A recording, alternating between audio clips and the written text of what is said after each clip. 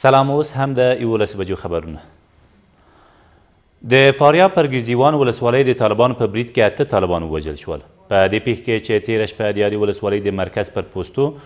د طالبانو له برید وروسته رامنځته شوي پنځلس نور طالبان هم ټپیان شوي دي د فاریاب د امنیه قومندانۍ ویاند کریم یونس زیاتوي، په دې لړ کې یوه دولتي سرتیري هم خپل ژوند له لاسه ورکړی او یو بل یې ټپي دی.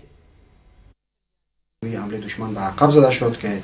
در نتیجه دشمن بیشتر از سی کشته و زخمی داره که راپورهایی که تاکنون بر ما رسیده شهرت هشت کشته و پانزده نفر زخمیشان بر ما رسیده که مشمول کشته شده ها یک تن از سرگروپانشان به نام مولوی رحمت الله هست و همچنان مشمول زخمی ها یک تن از سرگروپان دیگرشان به نام قاری محمد الله د لوګر په محمد اغې ولسوالۍ کې د افغان او بهرنیو ځواکونو په دوه شپې مخکې عملیاتو کې اووه کسان وژل شوي او پنځه نور یادو ځواکونو له ځان سره بیولي دي د دغې ولسوالۍ د ابازک سیمې اوسیدونکي تېره ورځ یې کابل لوګر لویه لاره تړلې او سره له دې چې وژل شوي کسان ولسي وګړي بولي له حکومته د وژل شویو کسانو د ګناه د روښانتیا او د برمته شویو کسانو د خلاصون غوښتونکي وو. د لوګر امنیتي مسؤلین د عملیاتو د ترسره کېدو پخلی کوي، خو د وژل او وړل شویو کسانو د هویت په اړه څه نه وایي.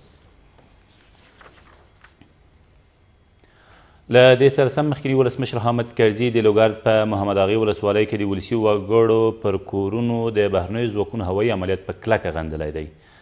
ښاغلي کرزي په یوې اعلامیې کې دغه بمبار د افغانستان د سولې په اړه د امریکا له وروستیو هڅو سره په ټکر کې بللی او زیاته کړې ده چې د ورته عملیاتو دوام به د سولې بهیر د ټکني کېدو لامل شي. د سیمې د اوسېدونکو په وینا د لوګر د محمد اغې ولسوالۍ په ابازک سیمه کې د دوه شپې مخکې عملیاتو په لړ کې اوه کسان وژل شوي او پنځه نور یې لا درکه دي.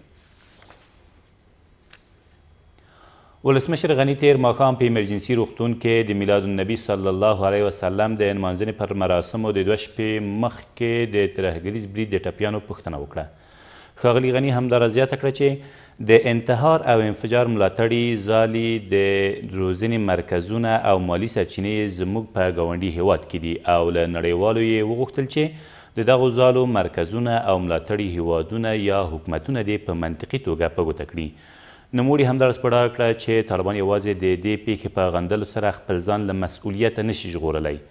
دوی باید عملاً سولې ته کار وکړي څو افغان او مسلمان وژنه پای ته ورسېږي. دوه شپې مخکې د کابل ښار د پنځلسمې حوزې اړوند په اورانوس هوټل کې د مولود شریف په اړه جوړو شویو مراسمو کې د یوه ځانمرګي برید په پایله کې پنځه پنځوس کسان وژل شوي او نږدې سل نور ټپیان دي. پولنډ د افغان حکومت د کارکوونکو د ظرفیت لوړولو او روزنې پروګرام یو ځل بیا پیلوي. د پولنډ د بهرنیو چارو وزارت مرستیال میچل لینګ تېره ورځ په پاریس کې د یوې ناستې په څنډه کې د افغان حکومت له اجرایه رئیس سره په کتنه کې زیاته کړه چې دغه پروګرام به د دوی په مالي ملاتړ په هند کې پلی شي. ښاغلي لنګ همداراز په ډاګ کړه چې هېواد یې په افغانستان کې د وروستیو کلونو لاسته راوړنو د ساتنې لپاره له نړیوالې ټولنې سره یو ځای خپل شتون ته دوام ورکوي. او د ښځینه کالیو نندارتون تېره ورځ په هرات کې د ښځینه سوداګرو له لوري پرانیستل شو.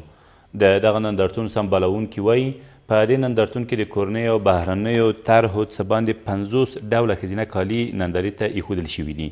د دغه نندارتون ګډونوال د دولت له لوري په هرات کې د ښځینه سوداګرو پر ملاتړ ټینګار کوي او زیاتوي چې دولت به په دې کار سره د کورنیو اقتصادي وضعیت کې ښه رول ولوبوي. د ویل ده چې دمګړۍ نږدې دوه سوه ښځینه سوداګرې په هرات کې په بېلابېلو برخو کې فعالیت لري. دا او تر دې مهاله وروستي خبرونه تر بیا مو الله مل